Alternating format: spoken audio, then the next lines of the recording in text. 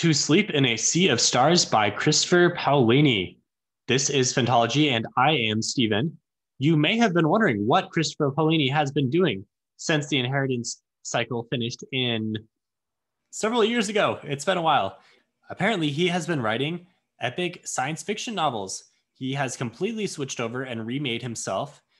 And before I actually start getting into the meat of the review, it's probably worth talking about the backstory of this book, since a lot of you guys know him from Eragon.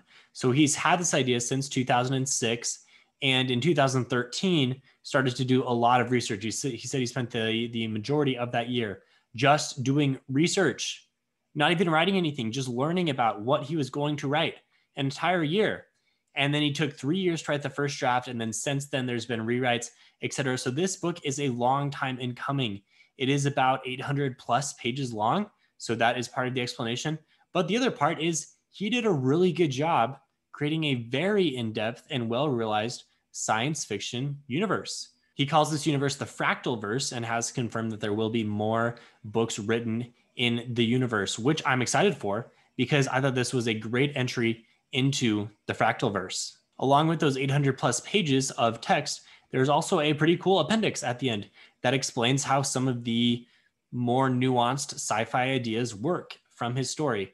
I found a lot of these technologies and ideas to be pretty well realized and pretty realistic. I mean, to the extent that sci fi is realistic. So I'm going to chalk this up as really good science fiction. Science fiction is not a genre I'm super experienced in. I've read Three Body, The Ender, some of the Ender books, and like I'm familiar with the Halo storyline and obviously seen a bunch of movies. That said, Paolini has said this is his love letter to the genre, to the sci fi genre. And there are a lot of references and Easter eggs, most of which I probably did not pick up on because of my lack of experience. So, my recommendation is if you are someone who likes the sci fi genre, then definitely, definitely pick up this book. The plot is not anything unique to the point where it would seem unfamiliar uh, from, from a lot of the other plots of, of popular sci fi books. Daniel Greene talks about this a lot in his review of the book. And I agree with him. And I think that is fine. It doesn't need to be something entirely original. And it did have a fresh enough take on, uh, on some of the other stories that we are more familiar with to the point where I found it uh, quite entertaining to read all the way through. So, To Sleep in a Sea of Stars. The characters I thought were one of the highlights. I really enjoyed the core characters. I found a lot of the others to be uh, maybe a little expendable, not quite as built out as some of the other ones. But our main character, Kira Navarez, especially, I found to be very fascinating as she dealt with a lot of conflicting emotions. The plot forced her into a lot of tough situations. And I always thought it was interesting to see how she was going to respond to the latest development here. I found her to be, to be very human and very well realized. Our main crew of supporting characters, they take some time to really endear themselves to you, but I thought they were quite fun by the end. And, and by the end, I, I was pretty attached to them. The ending itself, I really enjoyed. I found there to be a lot of emotional payoff.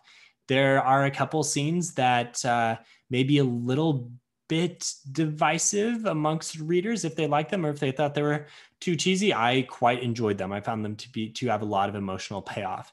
And there are a lot of strong themes throughout. There's themes of love and hope despite the difficulties of the literal universe although a lot of these themes don't really hit home at least for me didn't really hit home until towards the end. I found the beginning to be a little bit slower and, and kind of all over the place at least in terms of theme.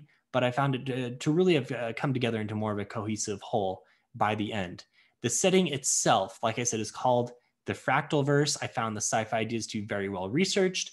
He took an entire year to do this so this is no surprise.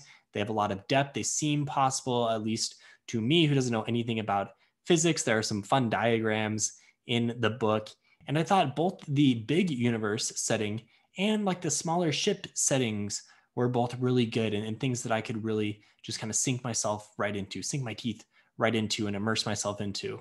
The plot. So the story is very plot driven, as most sci fi stories are. The characters were strong for the most part, but the plot is really what what moves the action along. It's a good plot. There's nothing extremely original. It's definitely engaging all the way through. Always kind of keeps things moving. The stakes are very high throughout. And if you like sci-fi, you're gonna really just find yourself right at home here. The pacing, however, is something that was a little bit tougher. I think it takes a while for the story to really get its momentum going. There is some opening action, and then there's a lot of downtime. A lot of times where you just sit with the characters and get inside their head. And for Kira, I thought those parts were interesting. With other characters, I struggled with maybe a little bit more. And in general, like it was a long book and it probably didn't need to be quite as long. Probably could have had, I don't know, 100 plus pages t- uh, t- taken out and still gotten the same story across. However, Paolini said he was writing in one book what would otherwise take a trilogy to get completely across. So I understand why it took so long. I think it could have been split apart, but hearing that he will be writing more books in the Fractalverse universe makes me okay with it. I'm, I'm excited to read more. I would have been really disappointed if I heard that this was just the one and then he was going to move on to other things because the the world here is so well built out and the technology is so cool that I really would like to see more and it would be a shame for more not to happen. So I'm excited for that. There were some good structural choices that helped with the pacing. He uses sub chapters a lot, which I find is always helpful to really kind of, you know, as a reader, you're you're looking for those benchmarks of, of progress. And so sub chapters help, especially when things are moving a little bit slower.